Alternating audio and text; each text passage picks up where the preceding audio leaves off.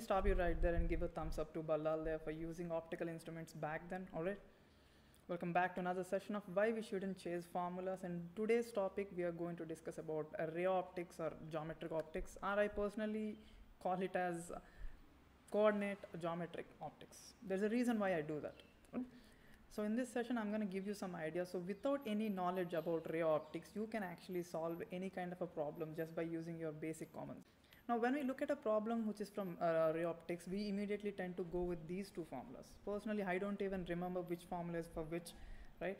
But I actually uh, developed a sense uh, with these problems so that I actually look at these problems in a much practical manner.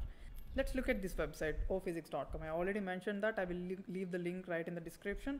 Uh, in this website, there is a simulator where you can actually have a mirror, a curved mirror or a lens and you can place the object in your desired position and the image is actually immediately shown. It's actually directly simulated right? So you can actually play with the object a bit in every position that you want and you can see the image. I want you to personally do this thing. I want you to personally feel the position of object and image in every possible situation.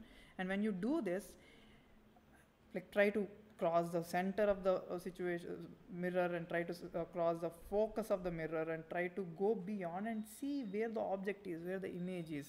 Not just the positions i'm asking you try to feel the velocities also like which velocity are you moving the object with and which which velocity the image is actually moving. When you do this not with just with the mirrors with also lenses look at this thing.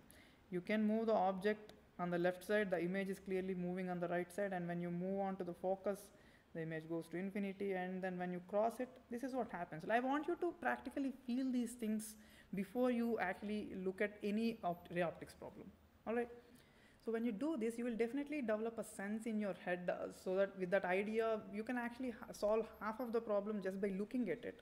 And rest of the problem can be solved of course using by the formulas right? So it makes it much easier to follow up a problem now it's not just that. When you develop that kind of sense, you tend to solve the problems in different different manners. Now look at this specific problem. You have a lens with a focal length of 5 centimeters. There is an object of height 7 centimeters standing at a distance 15 centimeters, right? So immediately you tend to go with the formulas, try to find the position of image, try to find the image uh, height, and we approach the problem, right? But I would suggest a different method here. Try to obviously take two rays. One is parallel, which must go through the focus the other is right through the center of the lens. It shouldn't deviate at all. Now what did we do here? Like do by doing this what did we actually achieve?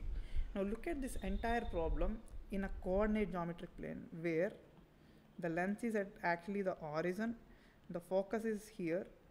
We have two straight lines now forget about this line forget about this part. The important parts are this line this straight line and the other straight line I will draw it with green ink. All you gotta do is look at these two straight line equations okay? Now the red line is clearly passing it's it's have actually having a slope of this height is 7 centimeters we already considered that. So the red line is clearly having a slope of 7 by 5 i would write minus 7 by 5 since the slope is clearly negative. So the red line has a slope of minus 7 by 5 and it is passing through 0 comma 5 so I would immediately write the equation of this uh, red line can be written as y equals to minus 7 by 5 into x minus 5, basic mathematics, a straight line equation. Now look at the red line. The red line is clearly having 7, the, this distance is given as 15. So the slope of this line is minus 7 by 15 and it is clearly passing through origin. So the equation of this thing is y equals to minus 7 by 15 x. Now you have two straight line equations. All you got to do is simply solve these two equations and you get the uh, point of intersection. And that point of intersection clearly gives you the position of the image not just the position of image the height of the image also immediately can be solved. You see what happened there? Without even using the idea of ray optics we actually use the solving using coordinate geometry so that's one more idea for you to approach the problem in a different manner. Now let's look at one more big problem that was there in one of the previous JEE questions. Now here is this question. Now look at this question.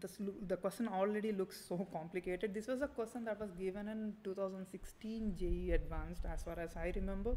And when we looked at this question uh, the first time as a lecturer, and we as a group of lecturers when we looked at this problem we thought this problem is going to eat a lot of time from a lot of students because this problem just doesn't include a lens. It includes a mirror and that mirror is also at an angle. It is actually tilted at an angle. Now if only you approach this problem in your conventional method taking this as an object finding the image through the lens and this was an object for the mirror which is principal axis is like this. So this will be the object and you have to find the image that involves a lot of mathematics and it takes a lot of time. And all you have is one hour for just physics exam right?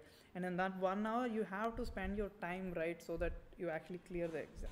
I personally have seen students waste a lot of time just on this question. And as a lecturer i actually personally wasted a lot of time during our practice. But that's but that's different for us right after hours and hours of struggle on this specific question we finally came up with a one simple solution since I've already developed this sense of optics when you move the object, when you move the image, what happens? I actually got an idea which is so simple. Look at this. All I did is from the object, he clearly mentioned the object is small, so the object is right here uh, on the uh, axis. All I'm doing is I'm taking one simple ray.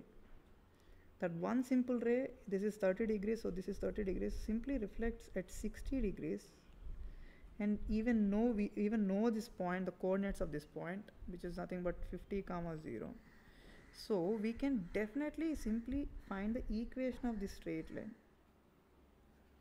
Now once we have the equation of straight line what I did is I tried to simply substitute all the options on the equation of straight line and bang.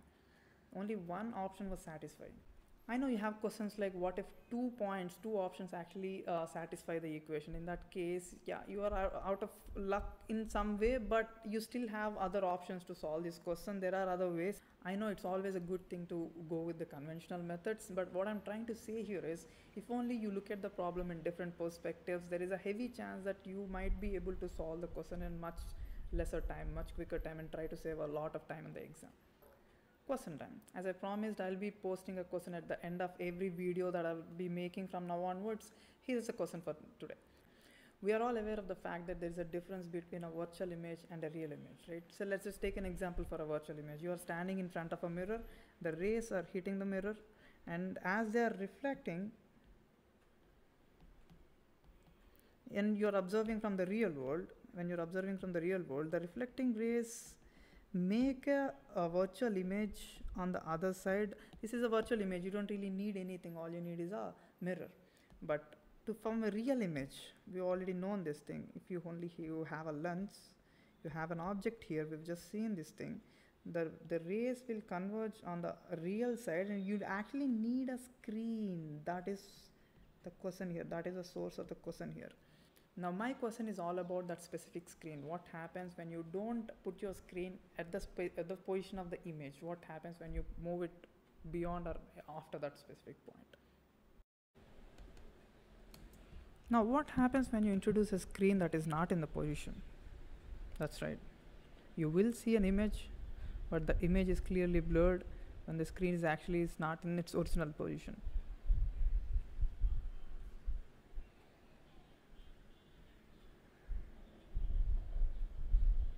Now if I want the image on this screen, the new screen, I'll have to adjust my lens so that the image is actually created on this screen. You see that?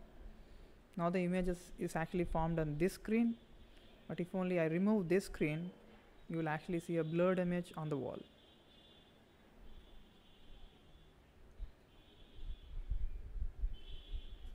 You see that?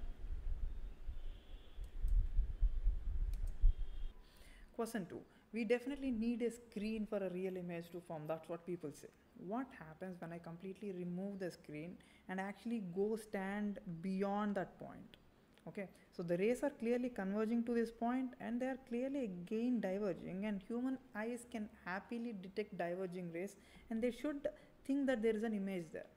So if we can actually look at that image why do we need a screen in the first place let's do an experiment. We go behind the screen now and try to remove the screen and let's see what happens. Can you see any image? Any image? Yes that's right. You get to a specific position, you definitely can actually look at an image, but that is actually inverted. Now try to answer what happened right here. So let me know what you think about these questions in the comment section and let me know what topic do you want me to discuss next in the comment section.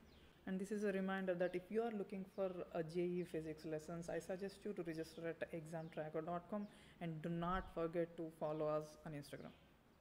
Well, I'll see you in the next video. Thanks so much bye bye.